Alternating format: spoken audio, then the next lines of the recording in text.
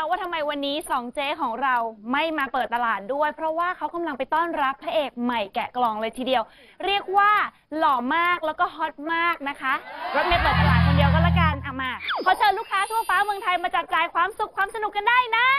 ตลาดโซนสนามเป้า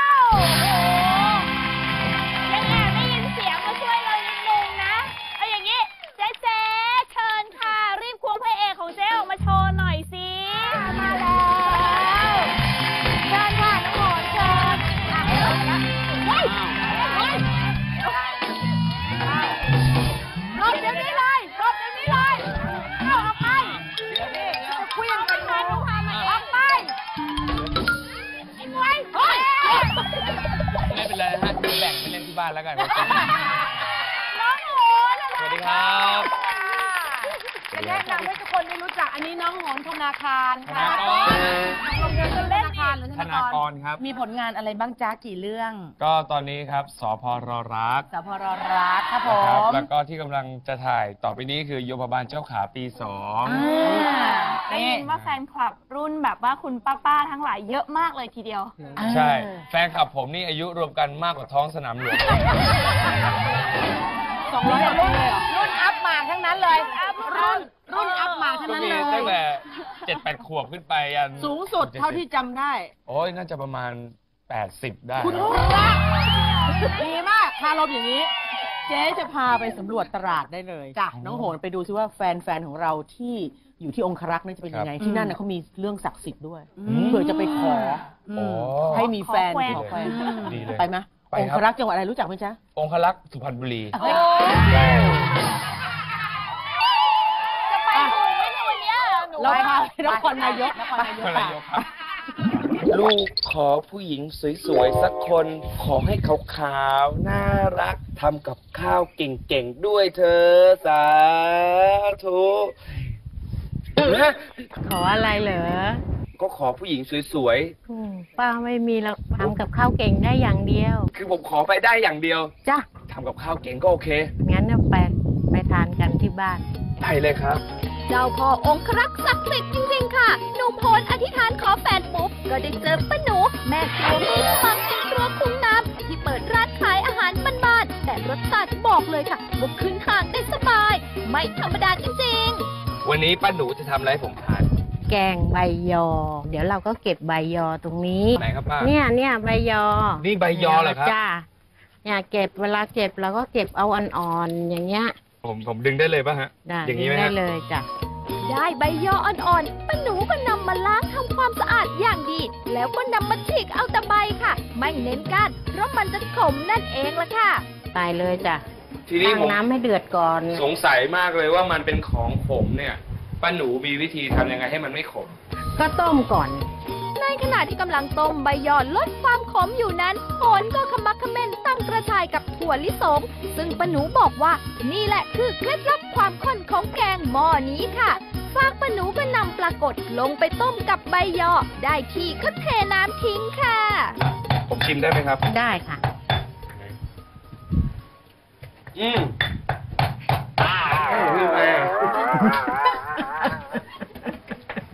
ขม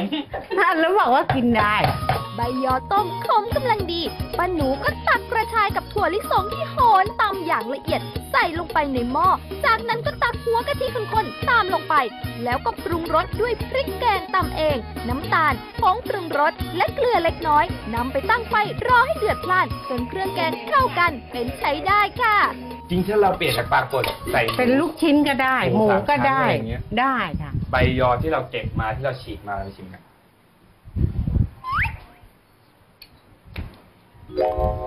เฮ้ยมันก็ไม่ขมเหมือนเมื่อกี้หรอกเฮ้ยความขมหายไปไหนป่ะก็น้ำแกงน้ำนี่มันเข้าไปมันก็จะขมน้อย ทีนี้มันก็จะหายขม ทีนี้เปลี่ยนจากขมเป็นหวานทันทีเลยอะอร่อยเลยอะ ต่อมาครับเราทำอะไรดีครับมะละใช้ช้อนขูดไส้มะระออกก่อนค่ะ จากนั้นก็นำไปหั่นเป็นชิ้นบางๆซึ่ง ป้าหนูบอกว่าต้องเลือกมะระที่ลูกขาวๆหน่อยค่ะ จะได้ขมน้อยๆหั่นมากนี่ทำไมมันไม่คมอะป้าก็หั่นใหม่สิเอ้าเอาทางนี้ลง อะไรออะไรครับ เอาบางๆนะเดี๋ยวยิ่งผัดยิ่งขม มันหนาไปเนี่ย มันหนาไปเหรอป้าอืมอันนี้ไปแกงได้ อันนี้หนาแกงได้เก็บไว้ก่อน จ้ะชิ้นหนาๆนี่แหละค่ะ แกงคั่วกำลังดี แต่ก่อนแกงต้องนำไปต้มในน้ำเดือดก่อนนะคะ เพื่อลดความขมของมะระนั่นเองละค่ะ อันนี้เป็นเป็นอะไรปลาเหรอครับปลาลูกชิ้นปลาลูกชิ้นปลากายป้าตีเองกับมือเลยเนี่ยเนี่ยจริงเหรอฮะจ้าเดี๋ยวจะให้ตีแล้วอันนี้ไปเทน้ำทิ้งก่อนนะเททิ้งเลยครับ ป้าหนูจะต้มลูกชิ้นปลาลงไปในหม้อต้มมะระเลยค่ะ รอจนลูกชิ้นปลาเนี่ยลอยขึ้นมาแสดงว่าใช้ได้ แล้วก็นำไปเทน้ำทิ้ง ตั้งไฟใส่กะทิ พริกแกง พริกชี้ฟ้า จากนั้นก็ปรุงรสด้วยน้ำตาล เกลือผงปรุงรส รอจนน้ำแกงเดือด ก็ใส่โหระพาเป็นอันเสร็จค่ะ อันนี้แกงลูกชิ้นมะละอุ้ยอร่อยอะป้า อย่างนี้ชามเท่าไหร่ครับ ชามละร้อยค่ะหนึ่งร้อยบาท ผมชิมแล้วนะฮะลูกชิ้นเมื่อกี้อืมมันจะเหนียว มันจะหนึบกว่า อร่อยครับเหนียวเหนียวๆหนึบหนึบๆอร่อยลืมเลยทีเดียว ต่อกันอีกหนึ่งเมนูขมๆกับมะระผัดไข่วุ้นเส้น ลูกค้าชอบมาถ้าชอบทานทุกโต๊ะเลยค่ะมาละผัดเนี่ยนะมะละผัดเด็ดไข่ยังไงวุ้นอะเส้นป้ามันอร่อยไงนี่เราเอาเอาไหมไหมฮะไม่ไม่ ใช้ได้แล้วพอ เอาไงเอาออก เอาน้ำใส่ก่อน เอาน้ำใส่เลยเอา น้ำซุปใส่เติมน้ำซุปไก่ลงไปให้หอมฉุย แล้วก็ปรุงรสด้วยน้ำตาล เกลือผงปรุงรส จากนั้นก็ใส่วุ้นเส้นลงไปผัดค่ะ ผัดไปจนน้ำเนี่ยแห้งเลยนะคะ ใส่ไข่แล้วก็คนคนคคนนอย่างนี้คเลยนนะ นะคนให้นั่นเลยให้มันทั่วคนทั่วๆเลยนะๆอืมแล้วก็ขูดออกมา อืมเอาละฮะ ผมจะมาชิมมาละบุญเส้นผัดไข่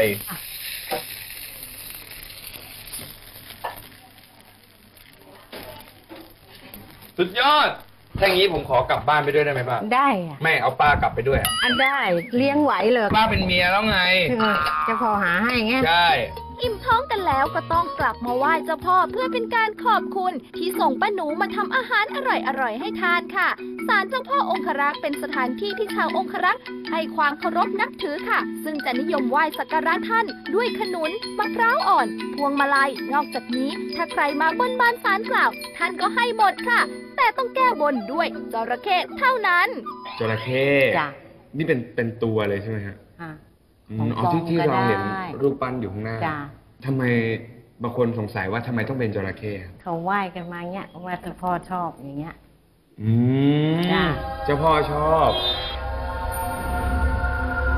ด้วยความที่คุ้งน้ำแห่งนี้เป็นทางน้ำสามแพร่งบวกกับชาวบ้านเคยทอดแหได้หัวจระเข้ขนาดใหญ่ จึงนำมาไว้ที่ศาลแห่งนี้ล่ะค่ะทำให้ชาวบ้านเชื่อกันว่าจระเข้คือพาหนะของเจ้าพ่อ ความศักดิ์สิทธิ์ของเจ้าพ่อไม่ธรรมดานะคะ ขนาดป้าหนูเองยังเจอมากับตัวค่ะ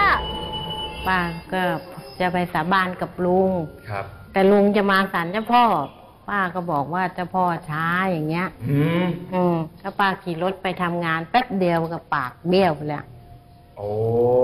แล้วทำไงอะป้าปากเบี้ยว ก็ลงให้เขาเรียกพี่สาวเอามาให้บอกเจ้าพ่อเลยบอกเจ้าพ่อเลยจะให้อะไรเจ้าพ่อ อ๋อขอให้ให้ปากกลับไปเหมือนเดิม ใช่ก็แล้วก็หายพักนึงก็หาย โอ้โหสุดยอดเลยนะครับ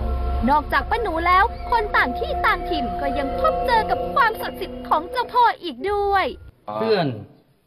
ขอมาขอนะฮะ ได้ถูกหวยสิบงวดเฮ้ย ใช้เวลานานไหมครับ ระหว่างขอ กลับไปแค่งวดสองงวดเนี้ยฮะ แล้วเขาก็ถูกติดติดติดติดกันมาเลยสิบงวด แล้วเขาก็ได้เมียอีกหนึ่งคน โอ้โห